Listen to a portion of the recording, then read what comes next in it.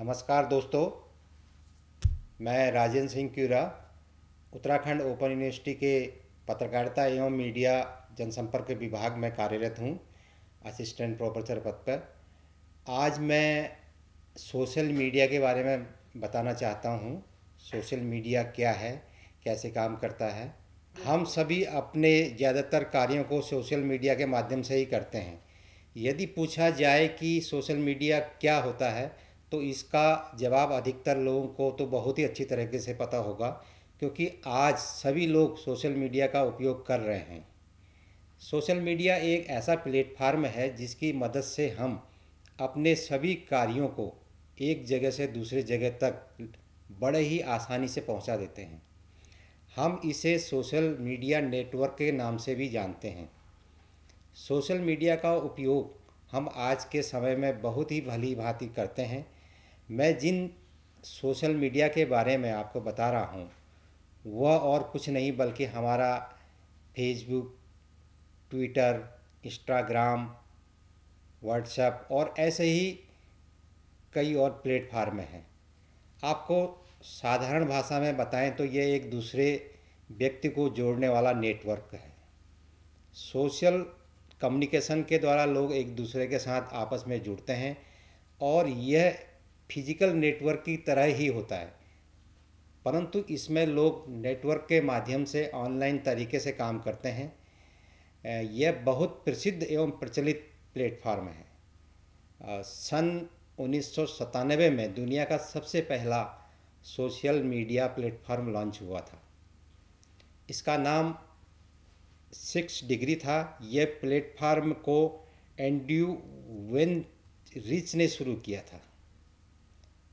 Social media एक ऐसा platform है जहाँ पर देश विदेश में घटित हो रही घटनाओं का विस्तृत रूप से जानकारी प्राप्त की जा सकती है। और इसके साथ साथ किसी भी व्यक्ति को ढूँढने के लिए भी सोशल मीडिया का उपयोग किया जाता है। सोशल मीडिया का उपयोग करके कोई भी व्यक्ति कहीं पर भी बैठकर किसी भी समय आ, किसी से भी बातें कर सकता है। इतना ही नहीं, सोशल मीडिया की मदद से सुरक्षा बल अपराधियों का पता करती है और जल्द जल्द अपराधियों को पकड़ भी लिया जाता है। सोशल मीडिया के उपयोग से यदि हम चाहें तो किसी भी व्यक्ति की पहचान कर सकते हैं।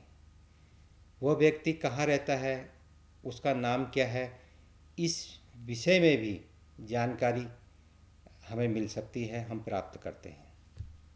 यदि हम बात करें सोशल मीडिया के साप्ताहिक अर्थ की तो सोशल मीडिया का साप्ताहिक अर्थ होता है सामाजिक मीडिया। अर्थात देश विदेश में घट रही घटनाओं की जानकारी और लोगों के विषय में विस्तृत जानकारी होना। सामाजिक मीडिया, जिसे सोशल मीडिया हम कहते हैं, एक ऐसी मीडिया है जिसके तहत यदि हमें किसी भी प्रकार की जानकारी चाहिए तो हम सर्च करके उस जानकारी का पता लगा सकते हैं। आजकल के दौर में ये बहुत प्रचलित है। और यही सोशल मीडिया का अर्थ होता है। सोशल मीडिया वर्तमान में बहुत ही ज़्यादा चर्चित है क्योंकि कोई व्यक्ति सवाल का जवाब पाने के लिए सोशल मीडिया पर एक बार ज़रूर सर्च करता है। उसमें एक बार ज़रूर ट्राई करता है। यदि इंटरनेट अर्थात सोशल मीडिया पर इसकी जानकारी होती है तो वो उसे ज़रूर प्रोवाइड की जाती है। जैसा कि हम सभी लोग जानते हैं, वर्तमान समय में सोशल मीडिया को सबसे ज़्यादा चर्चित प्लेटफार्म माना जाता है। सोशल मीडिया के मदद से कोई भी व्यक्ति किसी भी स्थान पर बैठकर अबे अपने सगे संबंधियों या फिर किसी भी रैंडम व्यक्ति के साथ आसानी से जुड़ सकता है और उनसे बातें कर सकता है। सामान्य तौर पर ज़्यादातर लोग सोशल मीडिया पर अपना अकाउंट बनाते समय पूछे गए सभी प्रकार के एक्सेस को अलाउ कर देते हैं, जिसके कारण से ये मुख्य रूप से दो भागों में बांटी गई है। इसमें नंबर एक भाग है इंटरनल सोशल मीडिया और नंबर दो है एक्सटर्नल सोशल मीडिया। जैसा कि इसके नाम से ही स्पष्ट है ऐसा सोशल मीडिया अकाउंट है, इंटरनल सोशल मीडिया की हम बात कर रहे हैं, इसमें यदि आप जुड़ना चाहते हो तो आपको एक फॉर्म फिल करना होता है, इसके पश्चात आपको एक्सेस दिया जाएगा और पूरी छानबीन के बाद ही आप इसके तहत जुड़ पाएँगे। इस सोशल मीडिया के बारे में हम सभी एक बहुत ही आसान से उदाहरण के साथ समझ सकते हैं कि education, educational group, photography group hacking group या फिर कोई भी सीक्रेट फार्म ग्रुप है। जैसा कि हम सभी जानते हैं, यह सभी ग्रुप बहुत ही छोटे और बहुत ही प्राइवेट कम्युनिटी के होते हैं।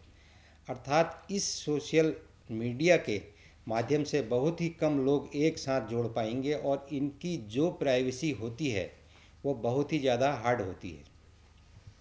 ताकि इसे कोई भी व्यक्ति बहुत आसानी से पता न कर पाए।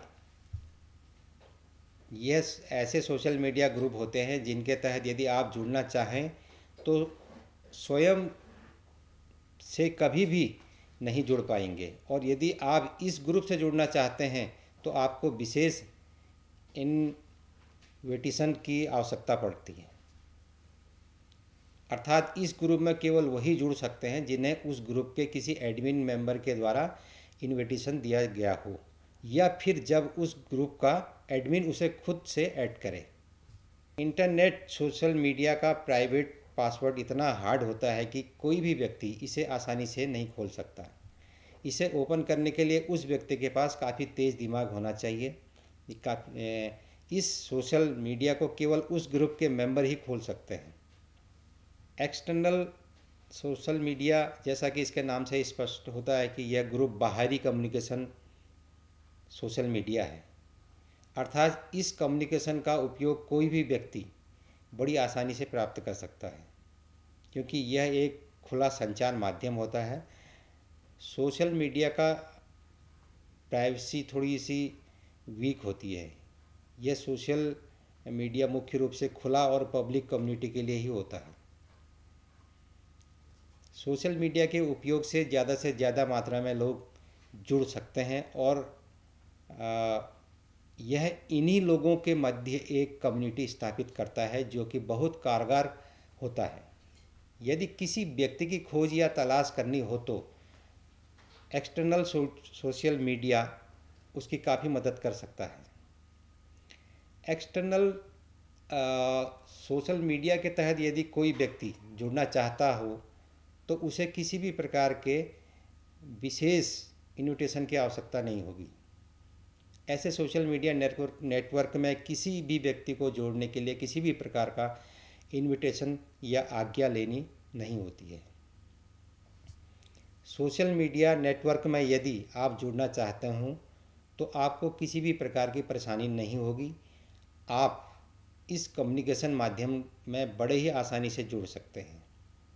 इस सोशल मीडिया को इसलिए खुला रखा खुला रखा जाता है क्योंकि कोई भी व्यक्ति इसमें आसानी से जुड़ जाए और इस सोशल मीडिया का ट्रैफ़िक काफ़ी बढ़ जाए। हमें अपने कार्यों को करने के लिए ज़्यादा ट्रैफ़िक वाले सोशल मीडिया का उपयोग करना चाहिए, क्योंकि इसमें काफ़ी सारे लाइक और व्यूज़ आते हैं, जिसके कारण आपके प्रोडक्ट की इम्प्लीमेंट हो जाती है। आगे बात करें हम तो सोशल मीडिया का उपयोग कई स्थानों पर होता है।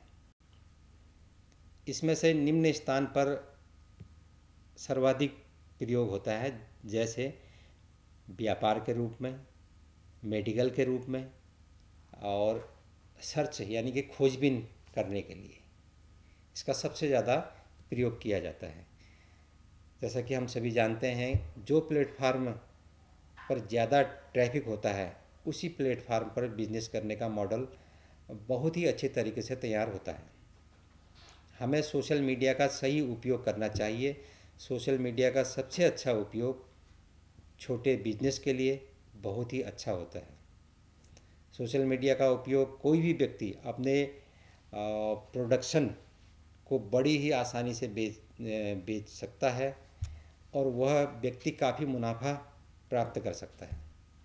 सभी छोटे व्यापारी अपने बिज़नेस को बढ़ावा देने के लिए सोशल मीडिया का उपयोग करते हैं। सोशल मीडिया का उपयोग करके कोई भी व्यापारी अपने प्रोडक्ट को बड़ी से बड़ी चीज़ों को आसानी से बेच सकता है या जनता के बीच ले जा सकता है। सोशल मीडिया न केवल भारत में बल्कि संपूर्ण विश्व में संचालित होता है। यह सोशल मीडिया का उपयोग करके अपनी दूसरी और तीसरा जो हम बात कर रहे हैं, सोशल मीडिया का उपयोग करके हम अपनी और दूसरों की हेल्थ आदि का भी ख्याल रख सकते हैं। क्योंकि सोशल मीडिया प्लेटफार्म पर अपने हेल्थ से संबंधित बहुत से दवा इत्यादि आ चुके हैं। साथ साथ हम दवाओं को भी सोशल मीडिया के माध्यम से मंगा सकते हैं। और वह दवा बिल्कुल कारगर होती है। सभी लोग इसका प्रयोग करते हैं। बहुत से हेल्थ प्रोफेशनल लोग ऐसे हैं जिन्होंने अपने सोशल मीडिया का उपयोग अपने ही इंस्टीट्यूशनल नॉलेज इत्यादि के लिए किया है। वे अपने नॉलेज को एक दूसरे के साथ शेयर करते हैं। सोशल मीडिया एक ऐसा एप्लीकेशन होता है जिसके माध्यम से कोई भी व्यक्ति किसी भी चीज़ को बड़ी से बड़ी ही आसानी से सीख सकता है और उस, उसका उपयोग कर सकता है। इतना ही नहीं, सोशल मीडिया पर अनेकों प्रकार की दवाएँ उपलब्ध हैं। इसके लिए अनेकों प्रकार के एप्लीकेशन भी जारी कर दिए जाते हैं, दिए गए हैं। और सामाजिक मीडिया जो सोशल मीडिया है, इसका उपयोग कुल, एक कुल कहें तो केवल एक दूसरे के साथ संबंध, बिज़नेस के रूप में ही नहीं किया जाता है। इसके अलावा भी इसका उपयोग बहुत सारी चीज़ों के लिए, सर्च के लिए, छानबीन के लिए किया जाता है। छानबीन से हमारा अर्थ है कि सोशल मीडिया के द्वारा प्रदान कराए जाने वाली सर्विस का उपयोग करके हम उनसे जुड़े सभी इन्वेस्टिगेशन बड़ी ही आसानी से करते हैं या हो जाते हैं हमारे इन्वेस्टिगेशन। क्योंकि सोशल मीडिया पर उस व्यक्ति के सभी प्रकार के इन्फॉर्मेशन इत्यादि मिल जाती है हमें सर्च करके, जिससे उन्हें क्रिमिनल्स की पहचान करने में वक्त बर्बाद नहीं होता या जिसकी खोज कर रहे हैं उसकी पहचान करने में वक्त बर्बाद नहीं होता, वो हम आसानी से जान लेते हैं। सोशल मीडिया के कुछ महत्वपूर्ण विशेषताएँ हैं। जैसे कि सोशल मीडिया वेब सर्विस होता है, जो कि लोगों को अलाउ करते ही एक पब्लिक और सेमी पब्लिक प्रोफ़ाइल बनाने के लिए एक लिमिटेड सिस्टम प्रदान करता है। दूसरा सोशल मीडिया लोगों को ऐसी फैसिलिटी प्रदान करता है कि किस प्रकार से हम अपने कमेंट को दूसरों के साथ शेयर कर सकते हैं। तीसरा, यह कम्युनिकेशन एक दूसरे के साथ बहुत ही महत्वपूर्ण वेरिफिकेशन करता है। साथ ही यह नेचर और साइट को भी वेरीफाई करता है। सोशल मीडिया का उपयोग लोग अक्सर एक दूसरे को अलाउट करने के बाद ही करते हैं। यदि कोई व्यक्ति दूसरे व्यक्ति को कंफर्म नहीं करता है तो वह उस व्यक्ति से संबंध में नहीं जुड़ पाता है। सोशल मीडिया एक ऐसा प्लेटफार्म है जहाँ पर लोग अपने प्रतिदिन के हिसाब किताब से घटित होने वाली घटनाओं को शेयर करते हैं, परंतु बहुत से लोग ऐसे होते हैं जिन्होंने सोशल मीडिया का नाम तो सुना होगा, परंतु सोशल मीडिया क्या होता है, इसके विषय में नहीं जानते होंगे। बता दें कि सोशल मीडिया नेटवर्क प्लेटफार्म के जैसा ही होता है। जिस प्रकार नेटवर्क प्लेटफार्म एक दूसरे को जोड़ने का कार्य करते हैं, ठीक उसी प्रकार सोशल मीडिया भी एक दूसरे को साथ जोड़ना, जोड़ता है। परंतु सोशल मीडिया में इतना ही फ़र्क होता है कि इससे कोई एक या दो व्यक्ति नहीं, अपितु अनेकों व्यक्ति, बड़ी संख्या में लोग एक साथ जुड़ सकते हैं। जैसा कि हम सभी लोग जानते हैं कि वर्तमान समय में किया जाने वाला काम पूरी तरह से अब ऑनलाइन ऑनलाइन हो चुका है। सारे काम काज ऑनलाइन चल रहे हैं आजकल और इसलिए लोग आपस में बातचीत करने के लिए एक दूसरे से संपर्क बनाने के लिए और एक दूसरे के साथ अपने पसंदीदा चीज़ें शेयर करने के लिए सोशल मीडिया का उपयोग करते हैं। ऐसा अनेक बार होता है कि आपका कोई परिवार वाला या फिर आपका कोई मित्र यहाँ से दूर किसी विदेश में रहता हो या उससे आपकी मित्रता बनाए रखने के लिए सोशल मीडिया का उपयोग करते हैं और उसके साथ आप विचार विमर्श को शेयर करते हैं। और इतना ही नहीं सोशल मीडिया का उपयोग कर, करके आप जिसकी खोज करना चाह रहे हैं, उसकी भी खोज कर लेते हैं। सोशल मीडिया का एक अन्य नाम सोशल सर्व मीडिया सर्विस होता है। इसका अर्थ होता है कि इंटरनेट इंटरनेट का उपयोग करके किसी दूर बैठे व्यक्ति के साथ जुड़ना और एक दूसरे के साथ जोड़कर उनसे वीडियो कॉन्फ्रेंसिंग या चैटिंग के माध्यम से बातें करना। सोशल मीडिया के माध्यम से हमें देश विदेश में घट रही घटनाओं का संपूर्ण विवरण प्राप्त हो जाता है। इसके साथ ही हम दूर बैठे लोगों से बातचीत बहुत आसानी से एक दूसरे को देख कर कर सकते हैं। सोशल मीडिया एक बहुत ही अच्छा प्लेटफार्म है जहाँ पर लोग वैरायटी ऑफ़ रिलेशनशिप को मेंटेन बनाए रखते हैं। ऐसे में इसके उपयोग से हमें बहुत से लाभ होते हैं। जैसे यदि हमारे रिश्तेदार या फिर कोई मित्र आ, किसी अन्य स्थान पर रहते हों तो तब भी हम उनके साथ सोशल मीडिया की मदद से संपर्क आसानी से बना सकते हैं। और उनके साथ कम खर्च में ही बातचीत कर सकते हैं अपना संदेश पहुँचा सकते हैं। फिर आता है सोशल मीडिया का उपयोग। बहुत सी चीज़ों के लिए जानकारी प्राप्त करने के लिए किया जाता है, ये मैंने भी बताया था।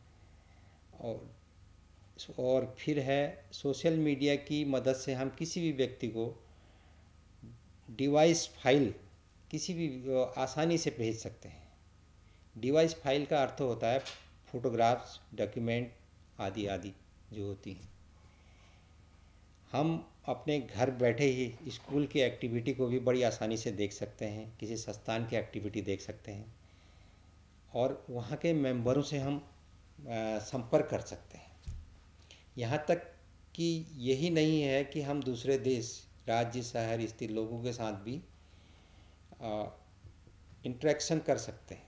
इसके साथ ही अगर हमें अपने नए दोस्त बनाने हैं या नए संपर्क स्थापित करने हैं तो हम सोशल मीडिया के माध्यम से भी यह कार्य आसानी से कर सकते हैं। सोशल मीडिया के उपयोग से कोलोबरेटिव लर्निंग करने में बहुत मदद मिलती है।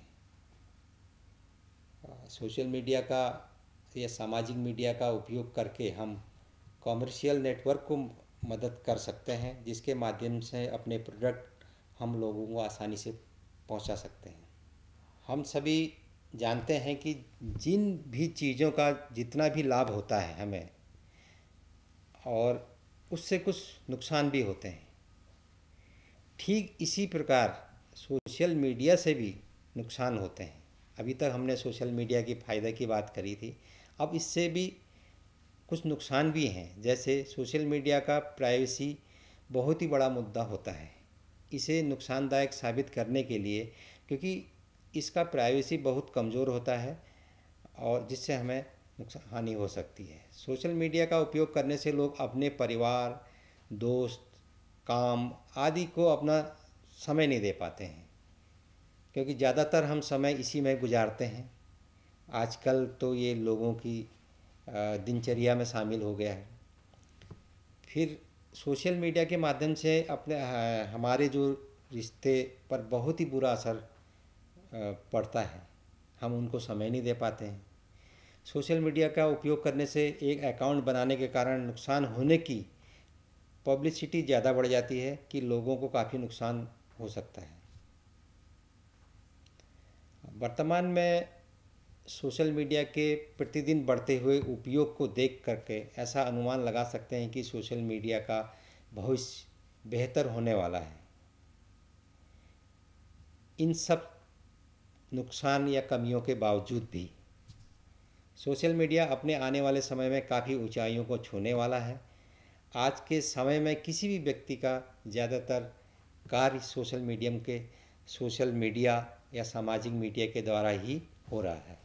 क्योंकि सोशल मीडिया का उपयोग करके अपने बिज़नेस को बढ़ा रहे हैं, सोशल मीडिया का उपयोग करके हम अपनी गतिविधियों को बढ़ा रहे हैं, उनको देख रहे हैं। ये अंदाज़ा लगाया जा रहा है कि सोशल मीडिया का भविष्य काफ़ी उज्जवल है। आप सभी का धन्यवाद।